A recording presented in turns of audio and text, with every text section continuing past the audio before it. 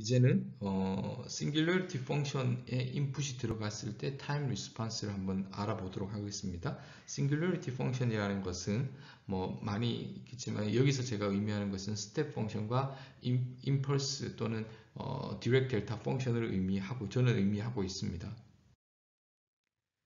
그래서 이제 궁극적으로 저희가 general input에 대한 time response를 보고 싶은데 우리는 그 중에서 아주 일부였던 input이 constant인 경우에는 저희가 study를 했고 ultimate한 goal은 general 할 때에 general한 output response를 보고 싶은 거예요. 이 그림처럼 LTI 시스템에서 그런데 우리가 먼저 singularity function을 살펴보자는 거죠. 이유가 있습니다. 제가 추후에 설명을 드리겠지만 그래서 step function과 impulse response 또는 delta Dirac function을 어, 이 input으로 들어갔을 때 의 아웃풋을 어떻게 계산하는지 여러분들과 살펴보도록 하겠습니다. step function이라는 것은 그냥 이렇게 생긴 거예요. 음수이면 0, 양수이면 1. 근데 우리가 조심해야 될 것이 그러니까 양수이면 1, 음수이면 0. 이것은 이 부분이 이 부분이 discontinuity가 있는 불연속 함수입니다. 그래서 singularity 펑션이에요. 불연속 함수. 엄밀하게는 이, 이 여, 정, 정확하게 t가 0일 때는 값이 정의가 안 된 거죠. 왜냐하면 값이 불 0, 뭐 이렇게 어느 값을 가져도 좋고 뭐 2분의 1 값을 가져도 좋습니다. 그래서 뭐 이건 제가 이렇게 하나의 예를 든 건데 그래서 여러분들이 기억하셔야 될 것은 step function이니까 이렇게 step인 거죠. 계단인데 0일 t가 0일 때 불연속점이 발생한다. 그래서 이러한 시스템의 input이 들어갔을 때 어떻게 되는지 아웃풋이 어떻게 되는지를 살펴보도록 하겠습니다. 그러면 step response 이제 아웃풋일 거죠. 그러면 우리가 step response를 음, initial condition이 제로니까 아무런 그리고 1차 시스템이에요. 1차 시스템이고 step response라는 것은 이렇게 되는 거니까 시간이 양수일 때 1로 constant한 input이 들어간 거랑 같죠? 같죠? 그리고 음수일 때는 음수일 때는 어 그래서 시간이 t가 0보다 작았을 때는 그, 그 step function이니까 0이니까 당연히 그 initial condition이 0으로 그래서 지금 이게 같은 겁니다. 같은 이야기입니다. 그것을 또는 다르게는 그냥 이렇게 표현을 하는 거죠. 그리고 initial condition이 0이고 이것은 ut는 제가 ut를 step function의 notation으로 쓰겠습니다. 그래서 ut는 step function으로 이렇게 해서 여러분들이 어, 이 부분이 ut로 정리가 됐다고 보시면 될 것 같아요.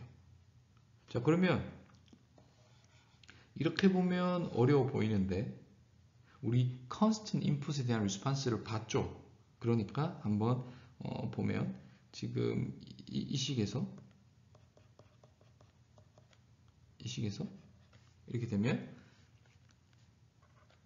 x가 이렇게 steady state는 가면 이 부분이 0이니까 5분의 1이죠. 그리고 이 부분은 이, 이, 이, 이 시스템의 다이나믹스는 마이너스 5t로 움직여야 되니까 움직여야 되니까 결국은 그림을 그려보면 0이었다가 t가 0일 때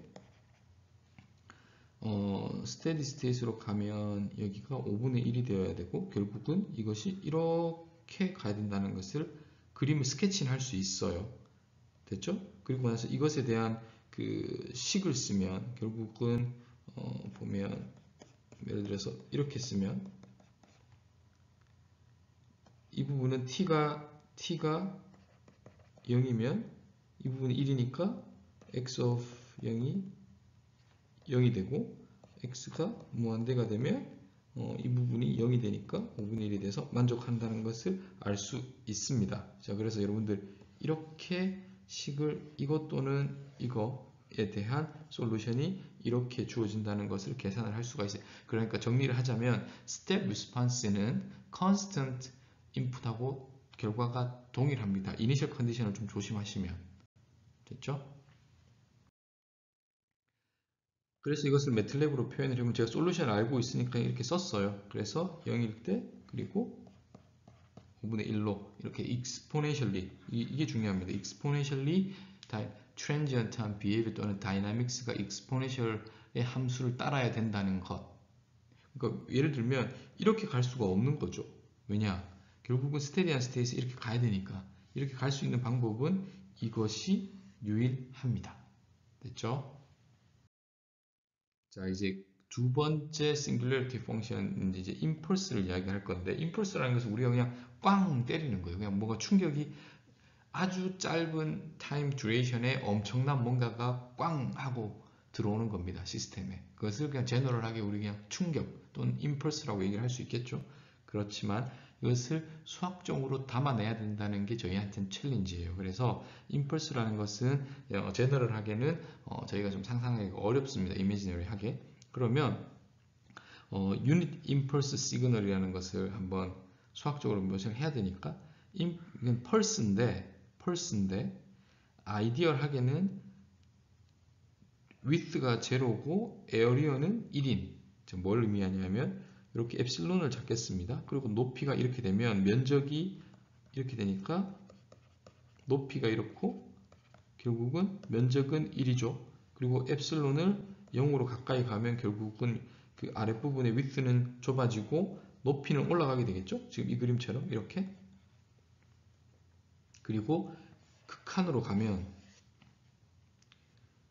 극한으로 가면 이 부분이 0으로 가고 하지만 면적은 1인 그것이 우리가 델, Dirac delta function이라고 합니다. 자 그래서 이것이 limit로 가는 거예요. limit로 엡실론을 0으로 보냈을 때. 자 그래서 unit impulse function이라는 것은 우리가 그냥 수학적으로 표기를 할 때는 아니면 표기를 할 때 이렇게 표기를 해요. 화살표로. 그리고 1이라고 쓰면 면적이 1이라는 거죠. 그것은 면적이 1이라는 것을 표현을 합니다. 좀 아이러니컬하게도 t가 0이 0일 때만 넌지로 값을 가지는 거고 그렇죠? t가 0이 정확하게 정확하게 0이 아니면 다 함수 그 이 이 부분은 다 0인 거예요. 그리고 이건 이건 함수가 아닙니다. 싱귤러리티 펑션이 그래서 엄밀하게 함수의 정의가 아니에요. 근데 우리가 이제 수학적으로 어떤 용이한 점이 있기 때문에 어, Dirac delta function을 자주 사용을 할 예정입니다. 그리고 또 특이한 것이 적분을 하면 1이 되는 거죠. 왜냐하면 면적이 1이니까. 그래서 좀 이 두 가지 property가 있다는 것. t가 정확하게 0일 때만 어떠한 값을 제로가 아닌 값을 가지는 것이고 면적은 1이다. 그리고 우리가 머릿속으로 상상을 할 때는 이런 느낌 또는 이런 느낌의 임펄스가 임펄스 신호를 생각하시면 될 것 같습니다. 그랬을 때 delta Dirac function의 property는 어, 이것을 그냥 그 전에도 말했지만 어, 원점이 아닌 부분에서는 대부분 다 제로인 거고 그러니까 이렇게 그리고 그냥 이건 정확한 엄밀한 표현은 아닙니다. 0이 아닌 게 x가 0이 아닌 데서는 다 0이고 0인 부분에서는 뭐 값이 무한히 크다. 무한히 크다. 그리고 만족을 해야 되는 것이 면적이 면적이 1이라는 것을 만족을 해야 되는 거죠. 이 이 이 이 이 이 그 Dirac delta 또는 delta Dirac function이 자 그러면 어떠한 property가 있느냐 하면 sifting이라는 건데 이게 여러분들 이게 아니라 이게 아닙니다. 이것은 이렇게 이렇게 shifting을 시키는 거고 이것은 우리 글로 치면 솎아낸다는 뜻입니다. 솎아내는데 뭘 솎아낼 거냐 하면 이렇게 보죠. 그냥 delta of t가 있고 x of t를 곱해요. 그냥 곱했습니다. 이거 이거는 그냥 general한 그냥 general한 function입니다. 그리고 적분을 했어요. 그럼 우리가 마이너스 무한대에서 0 마이너스라는 것은 0은 아닌데 0보다 아주 작은 그리고 여기서 여기까지 이렇게 적분을 구간을 나눌 수가 있겠죠. 그런데 이 부분은 이게 0이기 때문에 0. 이, 이, 이 구간에서는 이게 0이니까 0입니다. 요 구간에서는 요 구간에서는 잘 보시면 아주 좁은 구간이죠. 그래서 이 x of t는 x of t는 값이 거의 거의 거의 이 부분이 x of t가 될 겁니다. 지금 이거의 구간은 우리가 어디 어디서 어디냐면 x가 이렇게 지금 이런 느낌인 거죠. 뭐 이걸 뭐 이렇게 해도 좋고 그래서 컨스턴트하게 가정을 해도 됩니다. 왜냐하면 극한의 개념이 있으니까 그러면 이 부분이 밖으로 빠지겠죠. 그 그리고 이 부분은 우리가 1이라는 것을 알고 있기 때문에 이렇게 나왔습니다. 자, 그래서 결, 이, 이, 이, 이, 그 증명과 이, 이 풀이 과정보다도 여러분들이 기억하셔야 될 것이 그냥 아무 뭐 x 대신에 뭐 y를 하겠습니다.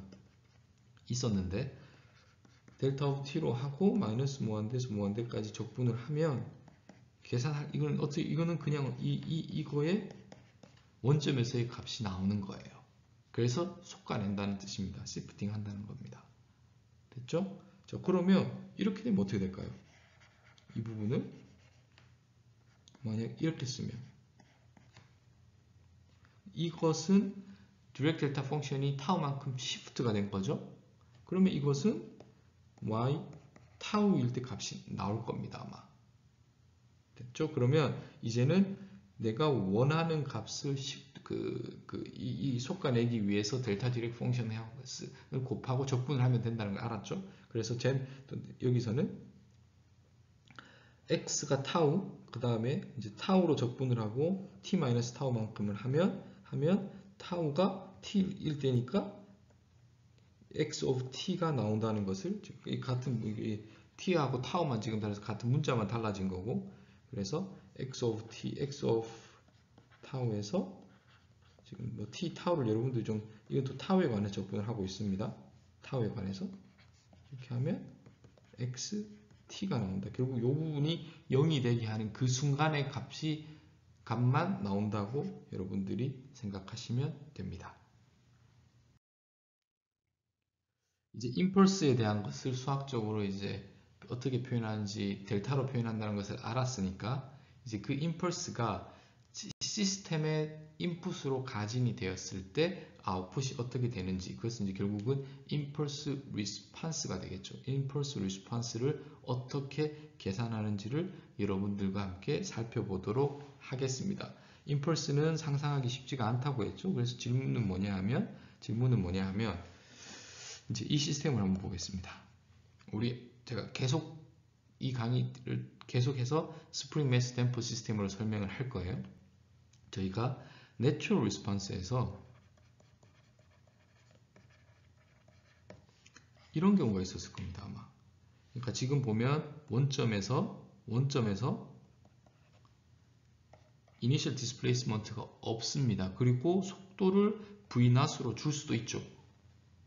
그, 그 얘기는 뭐냐? 그 이야기는 뭐냐 하면 이 시스템을 이렇게 속도 v 낫으로 던진다는 얘기죠 던진다는 얘기입니다 이것을 이것을 물리적으로는 어떻게 구현을 할까요? 이게 질문입니다. 어떻게 non-ze, non-zero initial velocity로 realization을 시킬까? 여러분들 한번 생각해 보셨습니까? 질량이 있는, mass가 있는데 당연히 다 정지해 있고 그러니까 정지해 있었겠죠? 처음에는 그거에 대해서 non-zero initial velocity를 어떻게 시스템에 줄 것이냐 한번 생각해 보죠.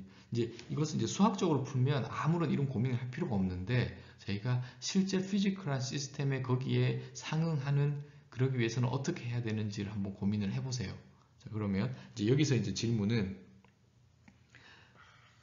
이걸 어떻게 만들 거냐입니다.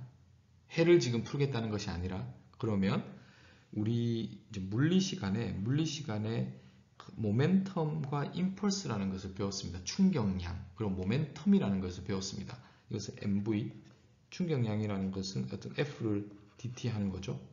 그래서 뭐 이건 물리 시간에 배우니까 제가 자세히 여기서는 설명을 드리지 않겠습니다. 그래서 충격량이라는 것은 충격량을 하면 그 모멘텀의 변화의 양, 모멘텀의 변화가 충격량에 의해서 모멘텀의 변화가 생기는 거니까 impulse라는 것은 갑작 sudden increase인데 모멘텀 이용해서 mv, m, m 어, mass 곱하기 velocity가 모멘텀이니까 예를 들어서 뭐 여기도 m 0인 그거죠 속도가 그러다가 m v로 속도가 변하게 하기 위해서는 impulse가 여기에 들어가야 됩니다. 됐죠? 그리고 impulse라는 것은 시간에 대해서 면적을 구하는 거니까. 지금 하고 싶은 게 뭐냐면 아주 짧은 시간에 그러니까 at time t 이꼴 0에서 정지해 있었는데 그러니까 여기에서는 정지해 있었는데 여기에서는 v로 움직이게 하고 싶은 거죠. V 낫으로 또는 MV의 모멘텀을 가지게 하고 싶은 것이고 그러, 그러면 우리가 물리에서 이렇게 알고 있습니다. 됐죠? 그러면 이 힘은 아주 강한 임펄스가 가야 될 겁니다. 왜냐하면 짧은 시간 내에 어떤 어, 0이 아닌 어떤 수, 그, 이, 이 적분을 했을 때 0이 아닌 무엇인가 나와야 되니까. 그래서 이 f of t는 아주 강하게 피크가 있을 거예요 아마. 그리고 이것을 수학적으로는 수학적으로는 그 이 픽의 쉐입은 중요하지 않습니다. 쉐입은. 우리가 결국 중요한 것은 이것의 총면 이 적분을 한 것이 그렇기 때문에 적분을 한 거기 때문에 우리가 f, f of t를 이렇게 우리 이제 배웠으니까 델타 펑션을 쓰겠습니다. 그래서 이렇게 쓰면 우리가 이제는 mv 여기서 가지고 오면 이렇게 되고 f mv 델타 t dt니까 그리고 mv는 컨스턴트니까 나오고 이렇게는 면적이 1이죠. 이제 깔끔해졌죠. 깔끔해졌죠. 자, 그래서 그래서 깔끔해졌습니다. 그러면 이걸 우리가 이제 어떻게 바라볼 거냐? 볼 거냐?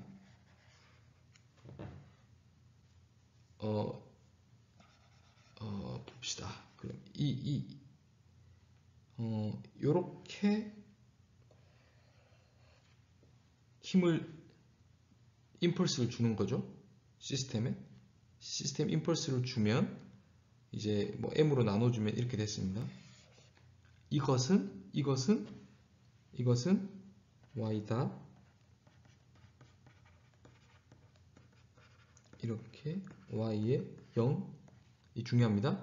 y가 y 0이 0이고 y 0이 다시 v not 이것과 여기 이 시스템에서 임펄스가 있고 있고 0인 것과 이퀴벌런트 합니다. 무슨 말씀? 그래서 임펄스가 있으면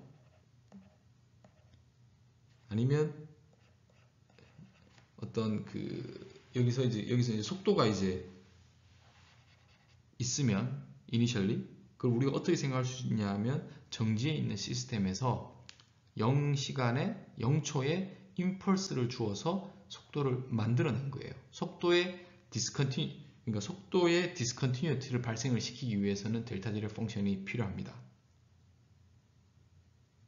여러분들 이걸 좀 이해를 하셨으면 좋겠 그러면 이제 우리 이건 계산할 수 있죠. 우리 다 배웠으니까 natural response를. 그러면 이것은 우리가 궁극적으로 계산해야 되는 것은 이거였습니다. impulse response 계산하고 싶은데 impulse response를 직접 계산하는 것이 아니라 직접 계산하는 것이 아니라 homogeneous한 equation으로 바꾸고 non-zero initial condition의 등가 인방을 바꾼 다음에 그 natural response는 제가 계산할 수 있으니까 지금 이제 스토리가 그렇게 되는 겁니다.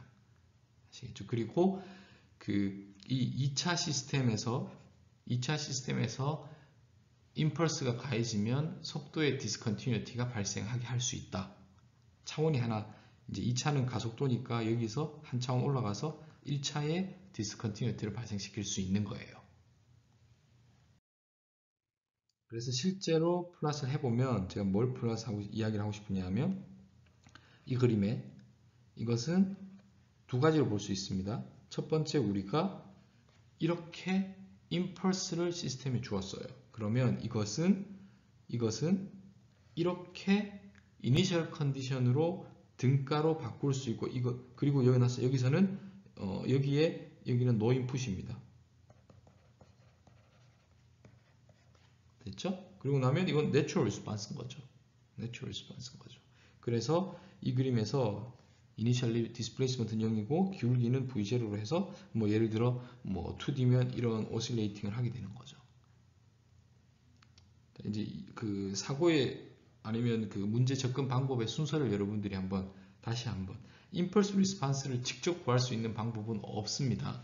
impulse response가 있으면 뭐 이 2차원 2차인 경우에는 속도의 discontinuity가 생기는 것이고 그것이 initial condition에 반영이 되는 거예요. 그리고 우리는 initial condition에 있었을 때 natural response를 계산하는 것은 다 할 줄 아니까 배웠으니까 그렇게 해서 해를 구할 수 있습니다. 그래서 impulse response to LTI 시스템인데 이제 우리가 LTI 시스템에 delta t가 들어 delta of t가 들어갔어요. 그러면 y가 나오겠죠. 그것을 그것을 임펄스가 들어갔을 때 임펄스가 들어갔을 때 response를 impulse response라고 하고 그것을 워낙 유명하고 중요하기 때문에 H of T로 쓰겠습니다. 그래서 이제 이 강의에서 H of T라고 하면 여러분들이 아, impulse response이구나 라고 그냥 생각하시면 돼요. 그렇게 notation을 제가 준비를 했습니다. 자, 그래서 이 경우 정확하게 이렇게 되는 거죠. delta of t가 인풋이고 y가 아웃풋인데 이 경우에는 y가 yt가 h of t가 되겠죠. 됐습니까? 그래서 impulse response는 워낙 중요하기 때문에 h of t라는 notation을 쓰겠다. 그리고 우리는 왜 impulse response가 LTI 시스템을 이해하는데 그렇게도 중요한지 추후에 함께 discussion을 하겠습니다.